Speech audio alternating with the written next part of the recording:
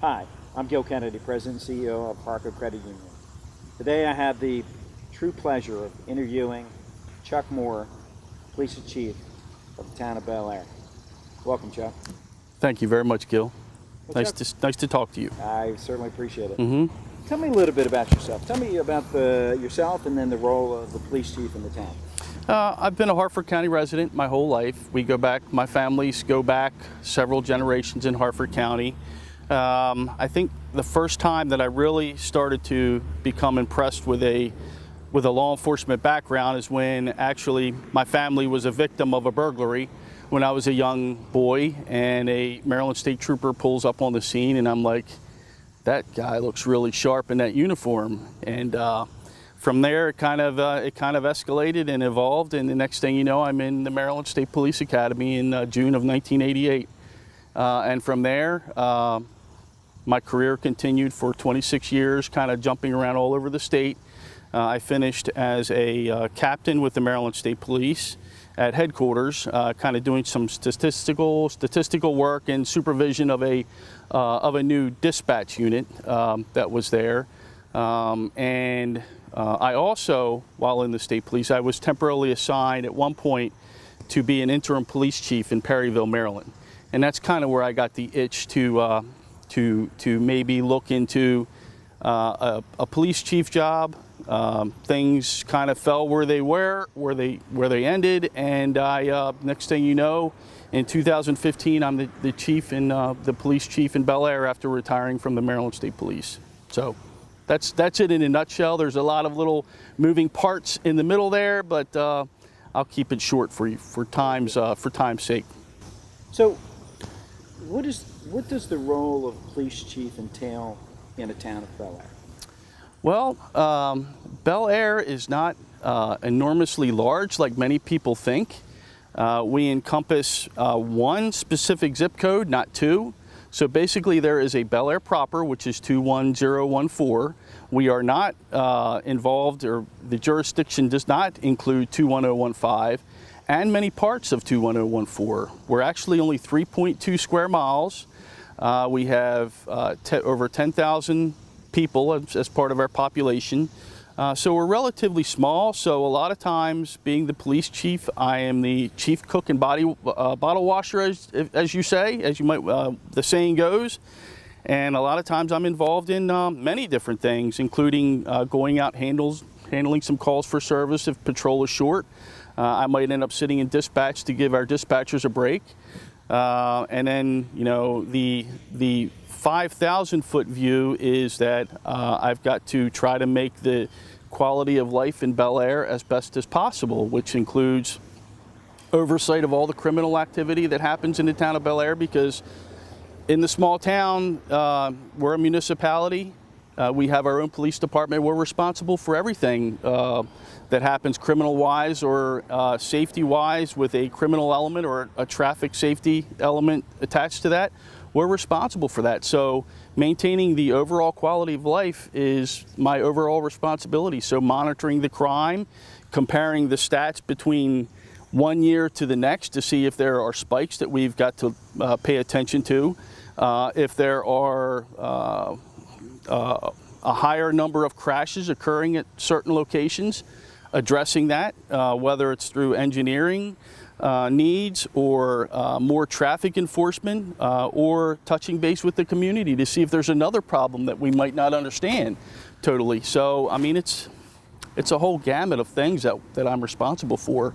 Uh, but again, maintaining and ensuring that the overall quality of life for the citizens uh, is my primary goal. Well, you, you all do a wonderful job.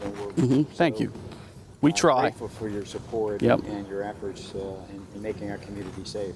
So, do you work with your the other police departments in Harford yes. County, the mm -hmm. county police department, uh, uh, Aberdeen, and we we do. Uh, we um, we communicate regularly. Uh, in fact, we have a police commission meeting tomorrow where uh, all of us kind of compare notes and go over. Um, uh, quality of life issues or any kind of issue for that matter that um, maybe one police department can help with resources, uh, sharing, that kind of thing, or you know, uh, brainstorming uh, on a problem. Yes, we, we, work, uh, we work closely with all of them, yes.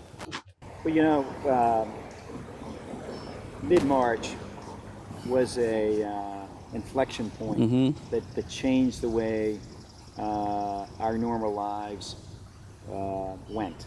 So, how has your department and policing activity changed during this period? There has been a whole lot of things that have happened this year that have uh, seemed to change the um, uh, outlook or uh, perspective from police departments all over the country. Uh, who would have thought that uh, we would have be we, we would be facing a uh, pandemic, COVID-19 issues?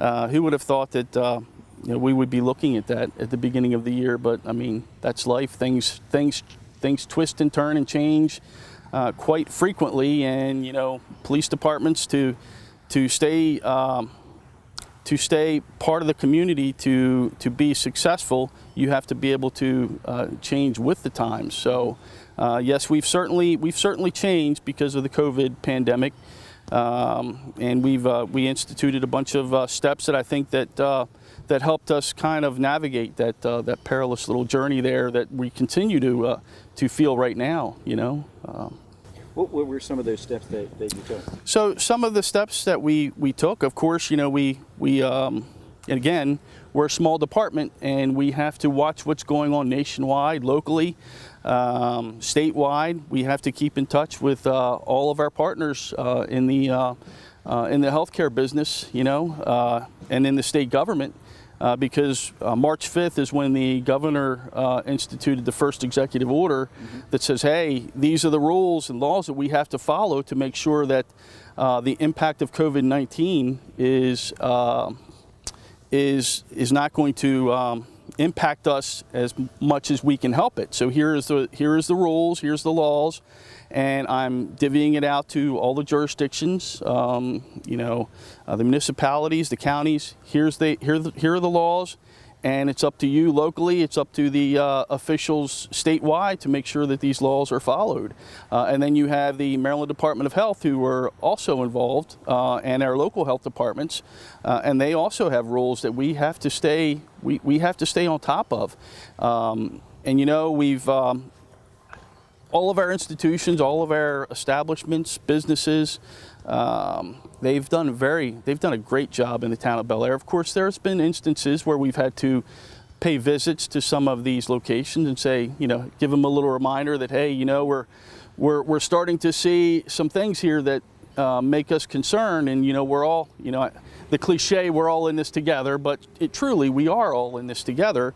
Uh, and we have to do our best to uh, lessen the blow of this, this thing happening. And, and everybody's been extremely cooperative. We haven't had to go out two or three times to these places and remind them once we stop in and they see us, uh, whether it's, you know, sometimes it's my job, this is my town, I'll go in off duty to see what's going on and, you know, whether it's business, whether it's, uh, uh, I guess, maybe a little selfishness when I want to go and, and enjoy a good dinner because we have great establishments here or um, maybe uh an adult beverage here and there. Um, I, I just see everybody doing their best to conform and, and make sure that this uh, that this COVID 19 uh, hits us as little as possible. And I think we've done a great job on that. Yeah, and I, I believe that um, you know this county uh, and our town uh, really has abided by the social contract. Yes. I, I, I, That yeah. uh, you know we all need to.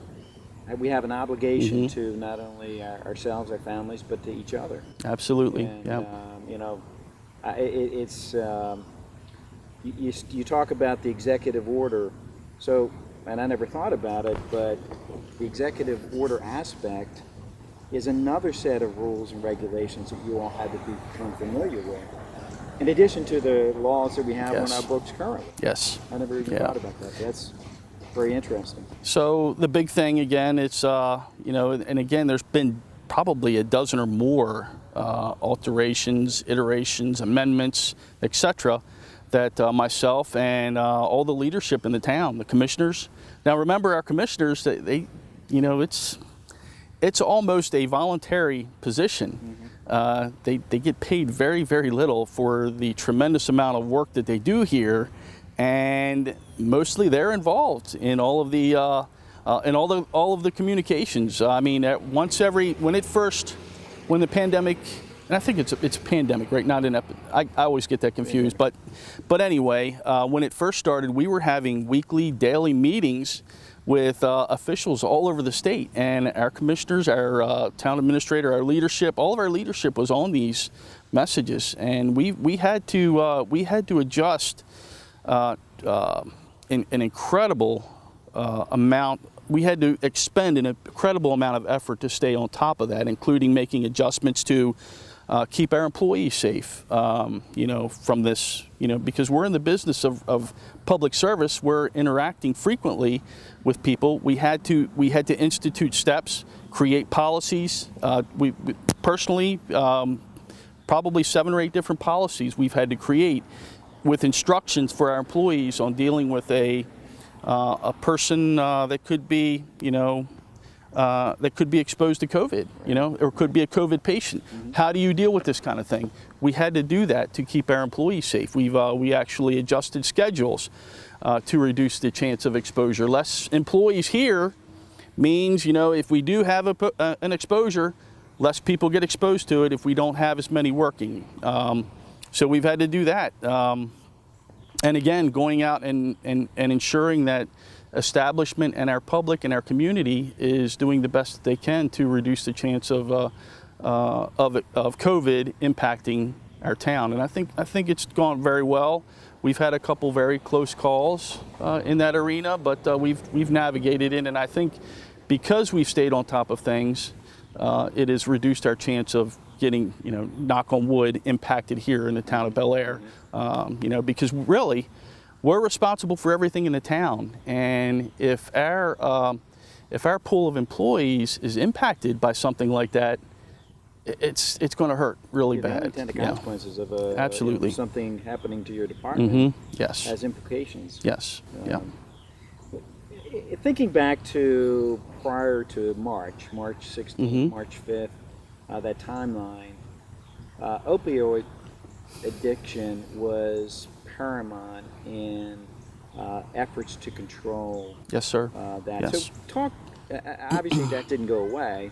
No. But talk to me a little bit about uh, you know how that has continued to be something that is critical to uh, deal with. Yes, the um, the opioid issue is something that is, is still of paramount um, consideration for me uh, and the department here. Um, you know, I think uh, I, I truly, you know, even with you, I don't think anybody has not been touched by the opioid epidemic out here, um, and it's. Uh, I think really, I started to.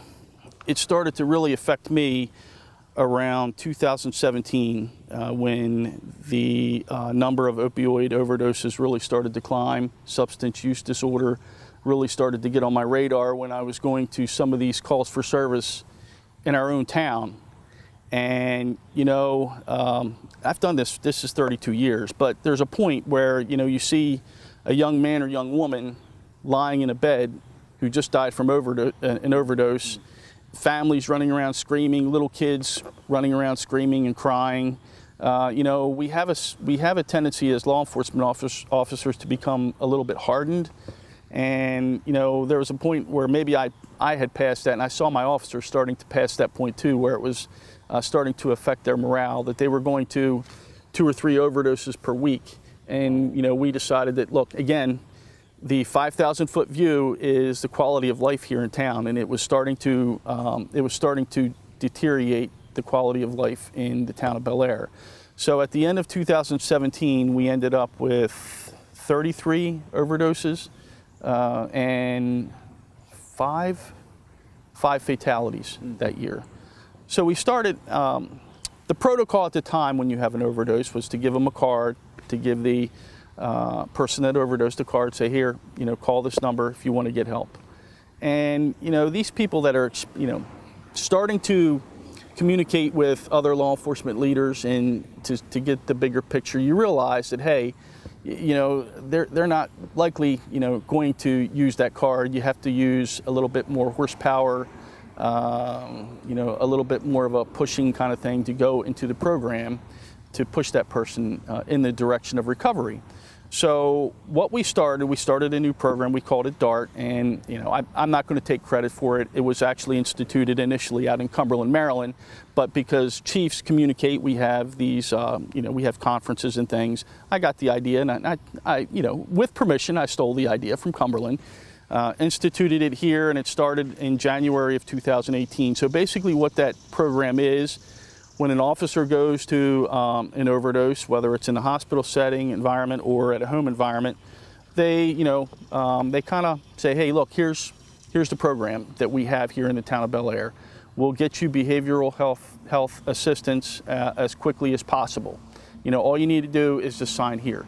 And then um, the program evolved to where we try to get the officer away because when they see a uniform, that that's a, an instant turnoff for most people. But um, you know, and you ha also have to get buy-in from your officers. And I was pleasantly uh, surprised that most officers, they you know, they they bought into it and they started to do the program, and uh, we started to get uh, we started to get participants.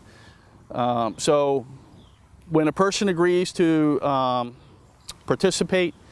Behavioral health gets involved, Family Children Services, Harford County Office of Drug Control Policy. We formed a little coalition you know, you know, they, another cliche is the silo effect. You know, before uh, you had the behavioral health uh, professionals, they were over here, law enforcement was over here. So we started to work uh, together. And the level of enthusiasm from that sector, I was also very surprised at. They were like, yeah, well, we, we want to help you. Let's get to the front of this thing. So we started to get participants. Um, behavioral health was there. Uh, they had a case manager that would get that person the service that they need. And a lot of times, these uh, addictions, they're related to other trauma that might be in the person's past. Mm -hmm. So that's what their specialty is. They're experts. Get to the bottom of what why this person is, you know, why they're addicted, why they're doing opioids or other drugs. So uh, at the end of 2018, uh, we were actually down to 20 overdoses uh, from 33 total overdoses, but we did have more deaths. Uh, so it's still, it's not good enough. Any, uh, any overdose or any death is not good enough. So we continued at the end of 2019, I believe, and I'm, I'm doing these numbers off the top of my head, I think we were down to six overdoses uh, with one death. So um, another way to measure the success of that program, and I don't do a program just to say I'm doing a program, mm -hmm. okay? I'll stop if it's not working. So we know that the, uh, there is a, a, prevalence, there is a, an abundance of Narcan out there, which of course, you know, uh, that's a godsend for us and it's uh, reduced the number of deaths. And it's out there so uh, anybody can go get Narcan if they have a uh, substance use disorder. So uh, of course we were factoring in, well maybe, this, maybe these reductions are as a result of Narcan. But when you start looking before the prevalence of Narcan and studying the number of overdoses happening elsewhere, it seemed that our, um, when we compared current uh, numbers, our overdoses were lower. So it looked like Narcan, you know, it, of course it had an effect, but sure. it looked like something else was working in there too. So we like to think that the program um, is, is uh, successful. Um, now, we go to two, uh, 2020. You've got the COVID stuff going on the pandemic. Now you have the opioid stuff. What do you think is happening with the number of overdoses? Yeah. They're starting to go up Absolutely. again. They're starting to go up again. Now, you know, again, just as I said, um, people that suffer from these disorders, you know, a lot of times there's other things that's causing that. Uh, depression, uh, employment, uh, you know, um, you know, isolation mm -hmm. from others. All of that stuff you know, is things that these people have suffered from disorders before they're starting to go through that again because they can't go to their they can't go to their methadone. They can't get suboxone these things that help them uh, navigate uh, into the, the realm of recovery. They can't get access to that. Uh, they can't go to their meetings uh, to to discuss things with peer recovery coaches the people that have recovered that are helping them. They can't they can't interact so we are seeing a, uh, an increase. We're, we're up to 10 this year with uh, three actual deaths. Wow. So I, I, think, you know, uh, I think that, that that could be a, a sign of COVID actually impacting the opioid problem. Now, another thing that we look at is repeat overdoses. Um, before we started our program, we were having repeat overdoses Um, I think maybe we've had one or two over the past couple years. So uh, I think that's another sign that we're on the right track. Sure. Um, you know, and with other things going on in the country as far as um, the community saying, hey, you know, maybe maybe we need some more therapists involved in law enforcement. And you know what? I, I don't disagree with that. We didn't. I, I don't have a degree in behavioral health. Sure. You know, so let's include them in that stuff. So we actually expanded DART to another program called LEAD, Law Enforcement Assisted Diversion.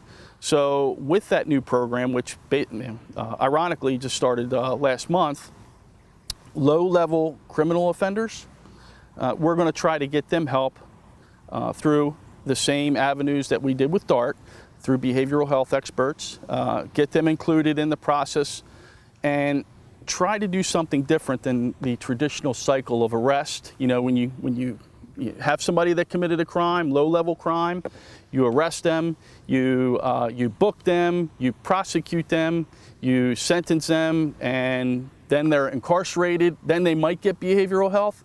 So with this program, uh, low-level crime, low-level uh, criminal, uh, as we as we can call them. Let's say somebody uh, committed a shoplifting offense. Um, we could say, hey, you know, and they're a town of Bel Air resident or they live pretty close. We'd say, hey, here's this new program. You have to come to one session and talk to a behavioral health person to try to get you help. If we think you know you have a problem, it could it could even be a financial problem. Sure. Uh, you know, you might have a kid, 18-year-old kid, who needs cleats for football practice. He goes in at Dick's and steals a, a, a pair of cleats. You know, in the old system, they get booked. He gets a, he or she gets a, uh, a criminal record. They go through the system, and nobody addresses the real problem that caused Absolutely. him to go there and steal those cleats. So with this program, we can possibly get that person help, not give them a record, save money with the prosecutorial stuff, not get them uh, involved in an environment where they're talking to other people that might lead them further down the road to crime. So that's that's the new, um, I guess I'd like to say, improved version of DART. So we're not calling it DART anymore. We're calling it LEAD now. Well, it sounds like you were in the cutting edge of that, and you know, bringing uh, a broader definition to public health, Yeah. more than just COVID, hmm uh, and and finding uh, and redefining how policing and support of the community is uh, actually implemented. hmm hmm Uh, it's a tribute to you and Yeah, your well, staff. well, thank you very much. I'm Yeah. so glad that uh, you know the town of Bel Air has somebody like you. It's a new that. concept, and and again, if it doesn't work, we'll stop doing it. But um, I think I think you're on the right path. I think we're on the right path. I think that's the new style of policing that you know we might end up going towards. You know, Well, we, we certainly appreciate that Yep. in the community. I know I appreciate that as thank you, uh, sir. I appreciate that. of Har-Co Credit Yep. Union, Yep. and and being right across the street from you all makes us even feel more safer. Yeah. Um, to wrap up, um, what would you like to leave with uh, in, the, in the form of a thought or perspective for my members and, and the community? Um, I, I'm a um, I'm a guy that likes this. Uh, uh, I like to look at history, and there's this guy named Robert Peel. I guess you could say I'm kind of like a Peelian kind of uh, law enforcement authority, in that he believed that the community basically uh, is part of the police department, and the police department is part of the community. Okay, we're out here to serve. So if there are things that the community doesn't like from the police department, and we're kind of seeing that across the country, with some, you know, with with the uh, with society maybe wanting some change in the police departments. We've got to conform to that, and that's the kind of thought process that, that we follow here. Uh, and again, you know, making uh, making sure that the best quality of life out there uh, as possible for our citizens uh, is uh, paramount to us. Uh, that's a prime consideration, and um, you know, being kind to the community, and again, uh, the message is you're part of us, we're part of you. We're only getting paid for this job, you're not, but um, we just want you to realize and recognize that and appreciate that.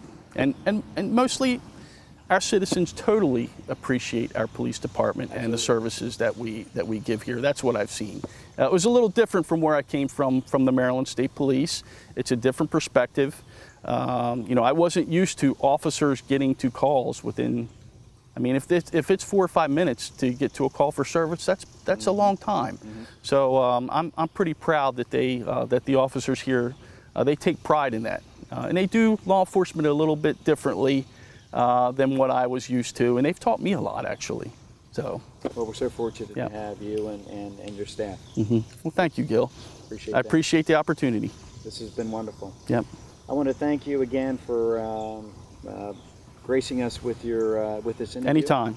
And uh, I'd like to say to our members and, and to the community, uh, please like us on Facebook and please share this video with your friends and family. Thank you.